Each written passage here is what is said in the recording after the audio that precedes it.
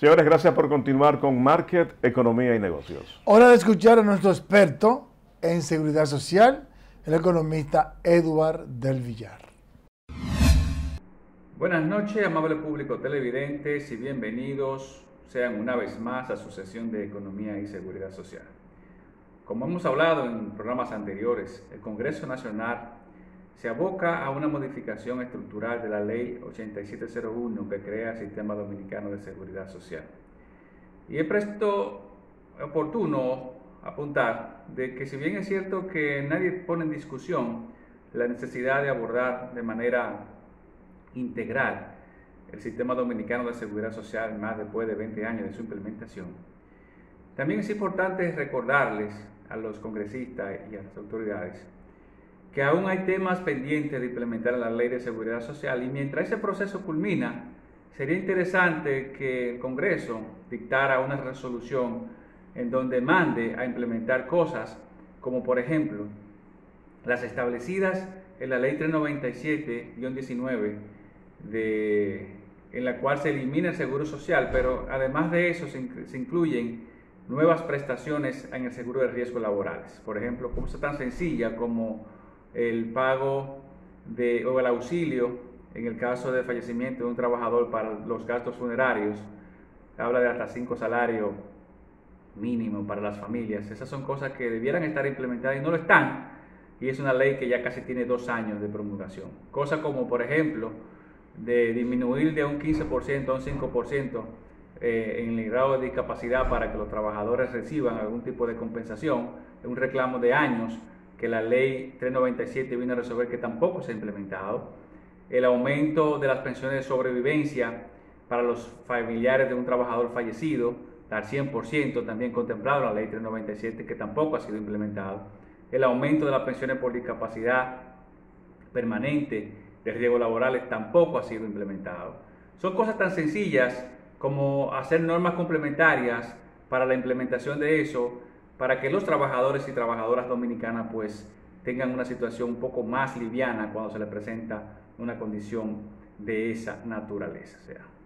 Crear mecanismos de seguimiento para que garantizar que las leyes que se aprueben se puedan aplicar a su debido tiempo. Todos sabemos que justicia tardía es justicia denegada. Los modelos de protección social o cualquier cosa que las leyes nuevas eh, eh, vengan a corregir, hay que, hay que implementarlas, porque de nada vale tener muchas leyes cuando las cosas siguen y continúan de manera normal. En la ley 8701 es de conocimiento de todos que hay temas fundamentales como la cobertura de los trabajadores informales por cuenta propia que nunca se ha implementado, la atención primaria en salud, la cobertura de, de salud para los pensionados, y temas tan controversiales, pero que están en la ley 8701, como es el tema del seguro de cesantía. Entonces, cosas como esas hay que abordarlas seriamente y definir si se van a implementar o no se van a implementar y quitarlas y hacer las reformas. Pero se están ahí y la idea sería que mientras se modifica la ley 8701, los congresistas que con tanto trabajo crearon esas nuevas leyes, pues se pronuncien y ordenen a, la parte ejecutiva de que implemente esas prestaciones. Muchas personas se lo van a agradecer. Gracias por su sintonía y saben que pueden encontrarme en las redes sociales como eduardelvillar.gmail.com y edelvillar.dblglobal.com. Hasta la próxima. Bueno, gracias a Edward con esa eh, participación tan, pero tan interesante y edificantes. El presidente de la Federación Dominicana de Comerciantes, Iván García expresó que la medida adoptada por la Dirección General de Aduanas para el despacho de mercancías en tiempo récord tendrá un impacto positivo para los importadores porque contribuirá a reducir los costos. Con este despacho expreso de 24 horas, el comercio importador vamos a obtener alrededor de mil millones de pesos anuales en ahorro por este rápido despacho. Estos ahorros que nosotros estamos obteniendo con el pronto despacho de 24 horas es para no incrementarle los precios de los productos que se comercializan en la República Dominicana. Asegura que iniciativas como estas llevadas a cabo por la gestión de Eduardo Sanz Lobatón colocan a la República Dominicana a nivel de otros países avanzados en materia aduanal. Despacho en 24 horas busca convertir al país en la principal plataforma logística de la región en materia aduanal. Bueno, si quiere convertir a la República Dominicana en el hub del Caribe, evidentemente que la desadonización tiene que ser rápida. Así que eso es sumamente importante. La verdad es que no entiendo por qué razón una mercancía tiene que durar 3, 4, 5, hasta una semana. Solamente uno tiene que interpretar por la búsqueda Claro. que había anteriormente, anteriormente, cuando hay en alguna mercancía alguna mercancía ilícita, cuando se quiere pagar menos, violar, no pagar los aranceles, etcétera, etcétera. En la manera en que entra o que entre un director de aduanas serio, responsable, que elimine toda esa mafia que había, en- en- de esa misma manera, pues se puede desaduanizar, se puede sacar la mercancía en una hora. ¿Por qué? Porque todos los documentos están ahí. Ahora, si hay una búsqueda, Te le entropecen. que, que, que, que te la la entorpecen, que espérate, que eh, por aquí te periquitos. hay que esperar, etcétera, etcétera. Entonces, evidentemente que lo que dura media hora, eh, con mafia, con búsqueda, busca, dura tres. Y ahí todo el, el proceso del que lo hace bien y del que lo hace mal se atrasa. Pero hay una forma para tú darte cuenta de que de alguna manera se ha venido eliminando esa mafia. La primera es que ya se está eh, sacando la, la- la mercancía en 24 horas o menos, pero además de que se ha incrementado significativamente la recaudación en aduanas. Creo que van 68 mil millones de pesos, Así es, así unos es. 7 mil millones de pesos más. Porque se ha incrementado la, la- eh, los ingresos aduanales, arancelarios, bueno, porque no hay coima, porque no hay búsqueda, porque todo el mundo está pagando lo que tiene lo que, que pagar. tiene que pagar. ¿verdad? Y además está, a- a- ma- él está pagando lo que tiene que pagar y está pagando más rápido. Evidentemente que si no hay desvío de dinero y si se paga a tiempo, en las 24 horas que están establecidas, entonces el dine- los ingresos se incrementan. ¿Qué quiere decir eso? Bueno, porque lo que habían estaban haciendo de la suya.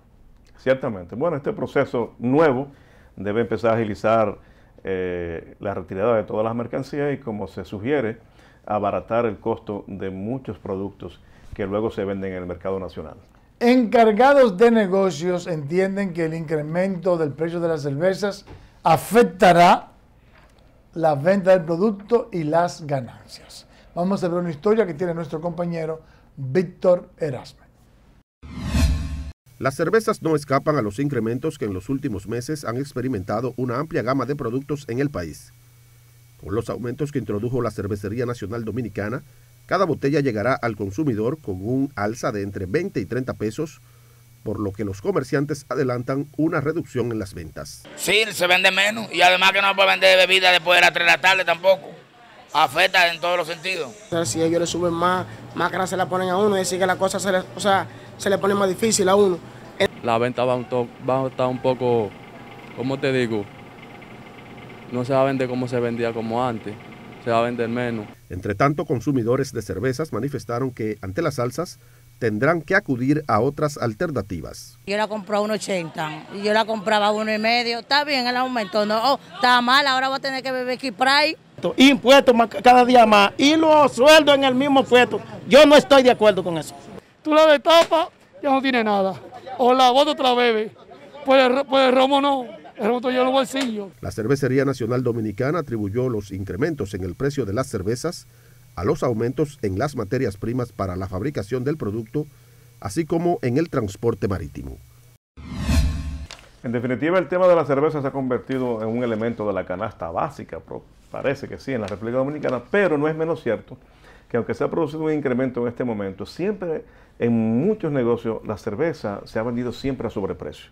Siempre la han vendido más caro que el precio sugerido por el fabricante. Aparte de eso, hay una situación de que como consecuencia de el problema que hubo con el ron, con el alcohol, el alcohol adulterado, la gente le ha cogido miedo a la compra de alcohol.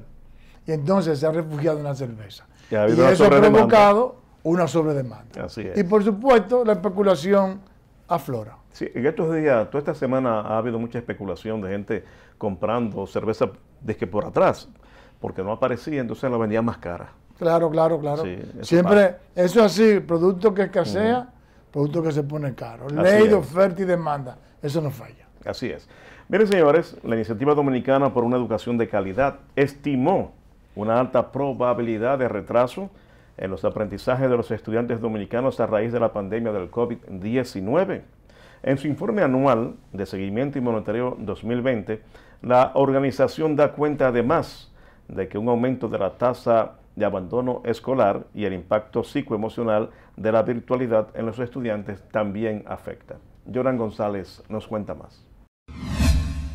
Aunque no cuentan con datos del año 2020, Iniciativa Dominicana por una Educación de Calidad se basa en estudios internacionales y datos del año 2019 para estimar que el nivel de aprendizaje de los estudiantes dominicanos se redujo de manera significativa en el 2020. aprendizaje, que es lo más importante.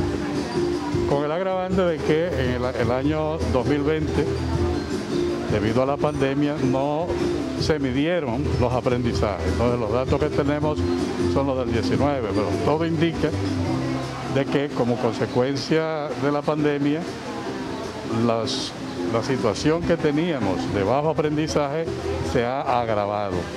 Los datos recabados por IDET en su informe anual de seguimiento y monitoreo del 2020 dan cuenta de que el sistema educativo avanzó en la reducción de estudiantes con edades superiores a los cursos en que se encontraban, pero creció el número de estudiantes que abandonaron los estudios y repitieron en un mismo grado. La tasa de abandono, por ejemplo, para el nivel secundario anda en el 9.5% más o menos. Según los datos recolectados, 406.793 niños y adolescentes están fuera de las aulas. La mayoría de estos son niños con discapacidad y provenientes de familias con alta vulnerabilidad económica. El especialista en educación, Radamés Mejía, reconoció los esfuerzos del Ministerio de Educación a través del plan Educación para Todos Preservando la Salud, señalando que este permitió formar a los maestros y dotar a los estudiantes de computadoras y tabletas. No obstante, la virtualidad es vista en el informe como un paliativo y no un sustituto de los programas presenciales. Gracias a nuestro compañero Joran González. Yo no tengo la menor duda de que habrá algún nivel de retraso en la educación este año. Porque la verdad es que, bueno, lo primero es que hemos implementado un sistema nuevo que ha tenido sus dificultades, eh, que tanto los estudiantes como los profesores están aprendiendo. Pero aparte de eso, no cabe la menor duda de que especialmente el estudiante, el niño, necesita socializar y necesita la atención especial, profesional, que da un maestro. Así que no cabe duda de que ha habido atrasos. Y yo creo que una vez salgamos de este problema de la pandemia, que es la que ha provocado precisamente la dificultad y la, y la innovación muy buena de parte de- del Ministerio de Educación, pero insuficiente para mantener el mismo nivel de calidad de la educación que es, de- de- que es cuando es presencial, habrá que tomar algún tipo de medida para recuperar lo perdido. Así es. Yo creo que habrá que hacer algo, porque yo estoy conv- convencido de que de alguna manera se afectó. Ciertamente, ciertamente sí.